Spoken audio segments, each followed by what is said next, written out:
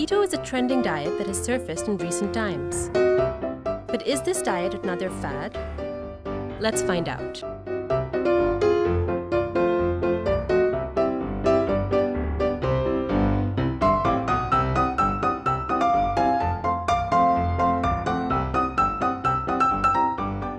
Let's discuss the benefits. And of course, the hazards.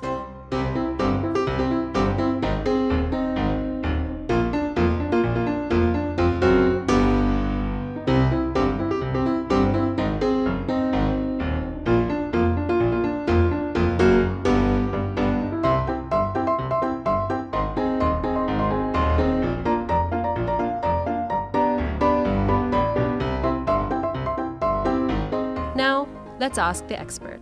Keto diet, we purely use organic things, those things which are not refined. We are cooking food in desi ghee, we are cooking food in butter, we are using olive oil. And we, what we are not using in keto diet, we are not using this canola oil, this sunflower oil. We use moderate amount of the, this meat and chicken and we use more fats. There are always things to keep in mind. Let's talk to someone who has tried and tested this method. I did it for about three months. I lost uh, a little over 20 pounds, which is around 10 kg. I stopped because, um, because I got too weak.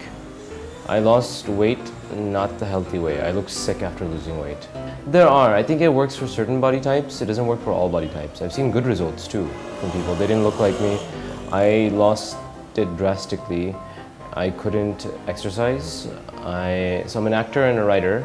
I couldn't write. My, like I needed carbohydrates for my brain to function properly. So I felt exhausted. I started getting dark under eye circles. Um, the weight loss was amazing, but it wasn't worth it because there was muscle loss as well.